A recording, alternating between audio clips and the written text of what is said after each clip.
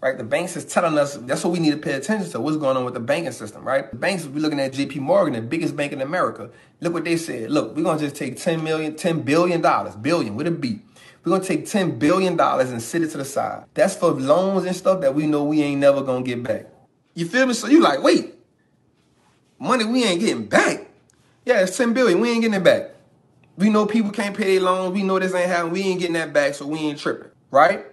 So then what happened was Wells Fargo said, you know what, y'all right. Wells Fargo put 4.9 billion to the side because they were like, you know what, we ain't gonna get that back neither. And then Citigroup said, you know what, we're gonna put another 4.8 billion to the side. We don't get that back. So you got the three largest banks. So listen, so what that tell us? If the big banks saying we not gonna get that back, right? And then he go to he go to big dog. So now when you go into the banking industry, you know you got the industry and then you got certain sectors within the industry, right? You got investment banks. The biggest investment bank is Goldman Sachs. The next biggest investment bank is Morgan Stanley, right? So you got the two biggest investment banks, yes, fintech versus traditional banks, 100%. In case y'all don't know what fintech is, that's your, your Cash Apps, who you just did, who's owned by PayPal. Um, and then you got your Square, right? Those those are fintech businesses, right? Financial tech businesses, right?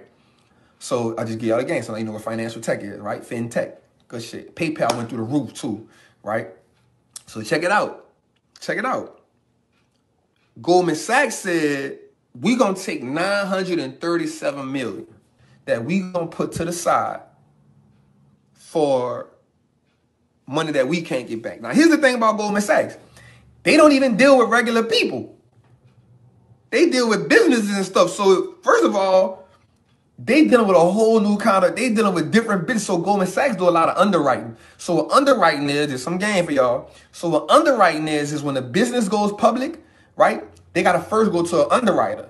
They say, you got to go to Goldman Sachs or Morgan Stanley or SoftBank, somebody like that.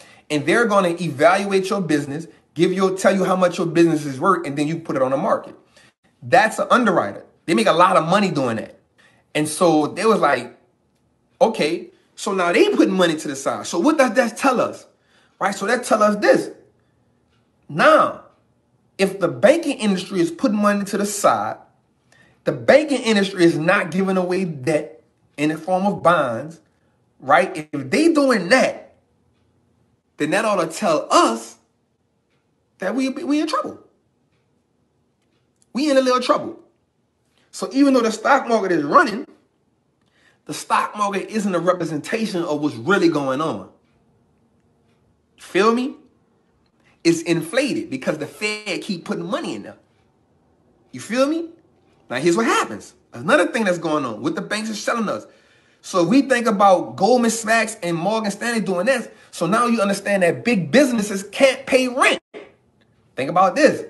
Retail industry is down. Remember I told you real estate was down about third, REITs was down 24%. So REITs are the commercial real estate, right? So if the REITs was down and then more Goldman Sachs are dealing with REITs to get money, people like that, if they down, then what does that tell us?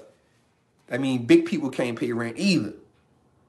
Right? So if all these big businesses can't pay rent, why is the stock market running up? We need to take a